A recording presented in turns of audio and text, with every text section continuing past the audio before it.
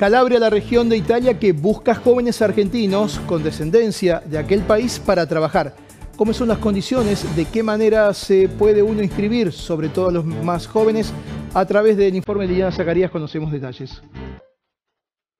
La Asociación Ítalo-Argentinos, que cuentan con una sede en Italia y otra en Buenos Aires, impulsa una iniciativa para extranjeros con descendencia italiana que busquen vivir y trabajar en Calabria, esta iniciativa surge a raíz del problema poblacional que está atravesando el viejo continente. Los sectores que están en crisis por la falta de mano de obra calificada son salud, construcción, turismo y transporte. Los postulantes que sepan manejar el idioma tendrán más oportunidades. Sin embargo, se ofrecerán cursos de italiano para facilitar la inserción laboral.